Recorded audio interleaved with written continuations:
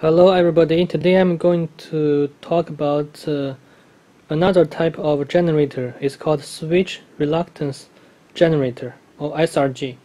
So this is the setup in my lab regarding switch reluctance generator.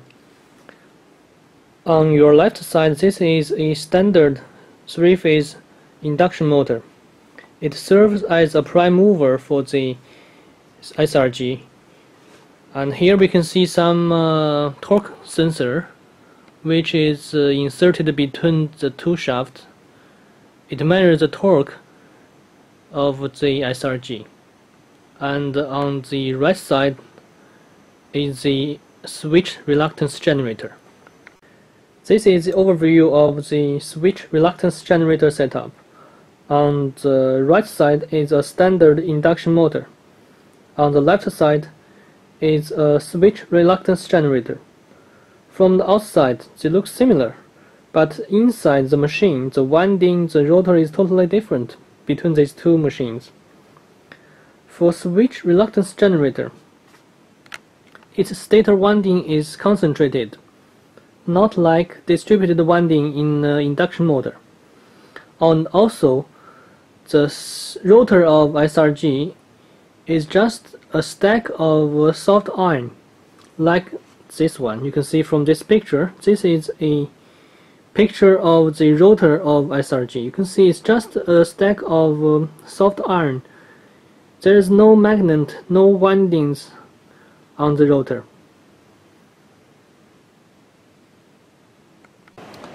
So we have just introduced you guys the switch reluctance generator setup it is located inside a machine room.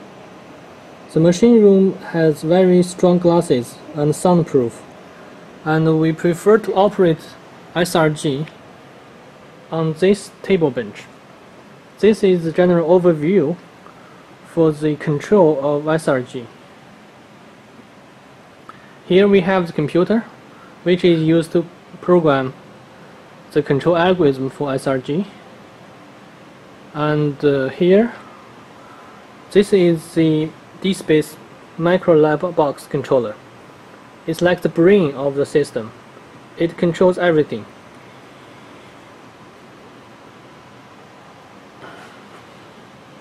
Over here we have uh, black boxes. These are the sensor box. It used it is used to measure the voltage and the current information of SRG and feed such information to the controller and this device is, is called asymmetrical half bridge.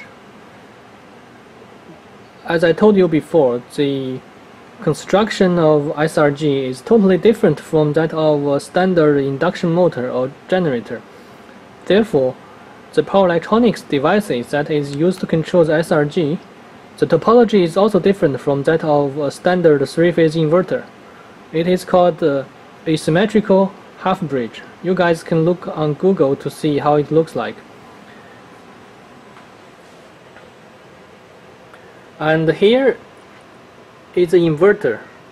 Why? Because as I said, SRG will generate DC power to the DC link of the system and we want to feed such power back to the grid. In order to do so, we need an inverter. So this is the inverter from Danfoss and uh, this blue ones are the inductors. So we have an LCL filter which is inserted between the inverter and the grid. The purpose of this LCL filter is to attenuate the switching harmonics from this inverter so that we can have a sinusoidal AC current that is being generated to the grid.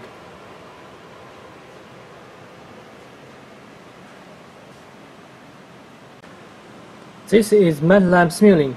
So this is actually the code that is going to be used to generate power from SRGs. You can see it's uh, basically composed of two parts. The code on your left side is used to control the inverter, which is used to stabilize DC link for SRG.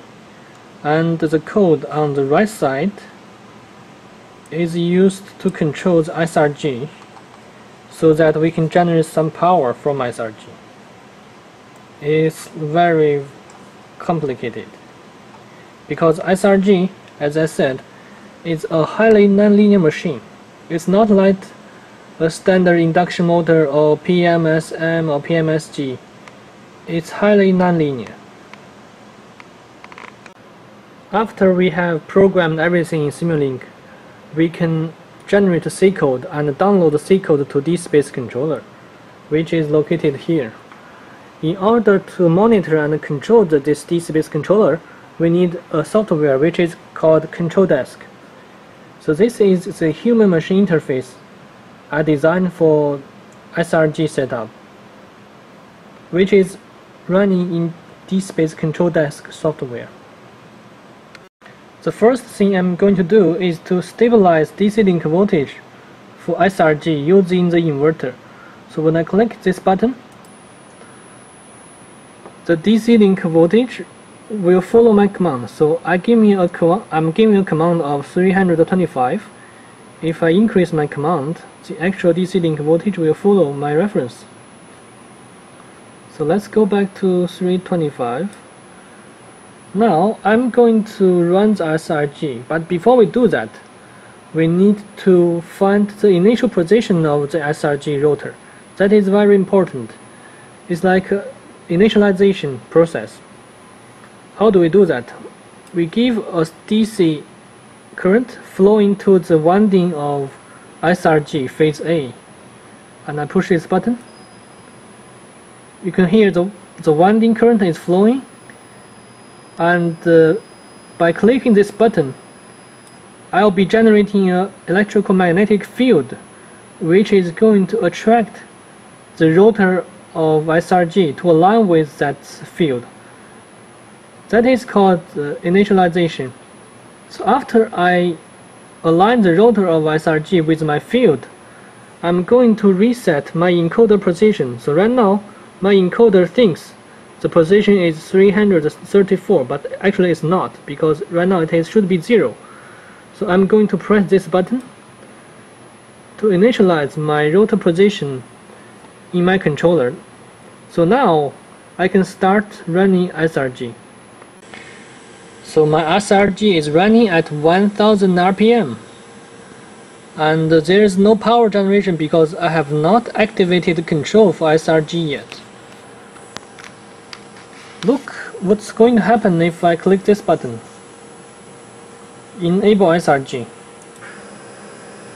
Well, we hear some noise from SRG. And from the scope, we can see the three-phase current. This is the actual current that is being generated in the SRG. This is phase A, B, C. The noise is very big because SRG, as I said, is a, a non-linear machine. It's not a linear machine. And uh, the current is also non-linear. If I increase my reference value for my current, the noise gets bigger and bigger, and the current gets bigger.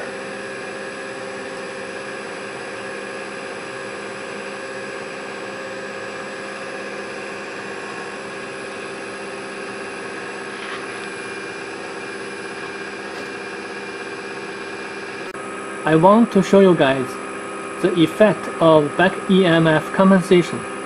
So if I stop my scope and you look at the detail,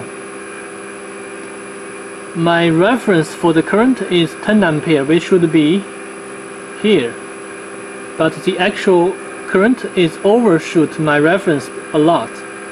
Why? Because as I said, the back EMF of SRG is highly nonlinear. It's difficult for controller to take such nonlinear effect into consideration, so there is a lot of overshoot, which is not good. It means we don't have very good control of the current. Now let's enable the function of back EMF compensation, see what's going to happen.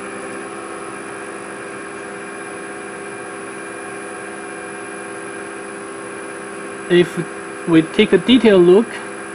Previously, there's a lot of overshoot. Now, my reference is 10 ampere. The actual current is also a little bit overshoot but much better than the previous one. Now let's disable back EMF compensation again to see what's going to happen. You see the overshoot. Now we don't have overshoot anymore. Let's do it again. Without e back EMF compensation, with back EMF compensation. Right now I'm running the SRG as variable speed, so I want to increase the speed of SRG. So I can drag this command.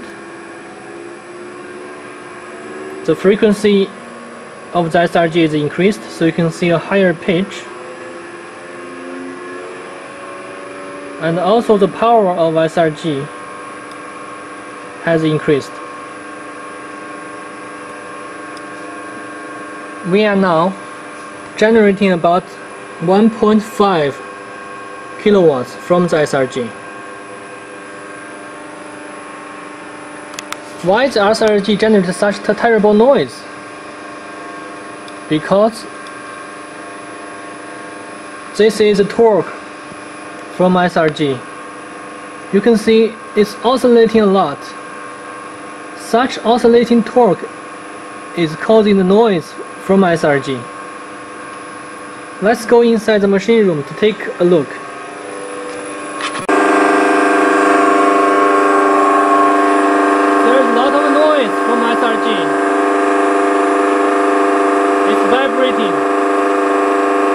This is as